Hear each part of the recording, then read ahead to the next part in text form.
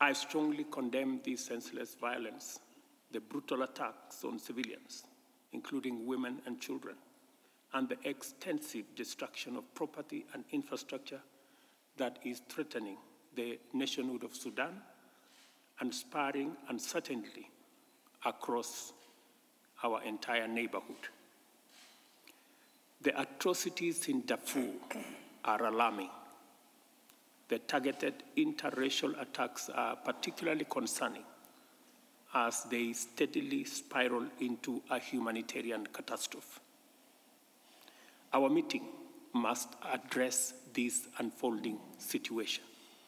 Critical is the need for an immediate assessment of the security and humanitarian situation with a view to ensuring that action is taken to protect the civilian population. While the crisis in Sudan continues to escalate, the response remains inadequate.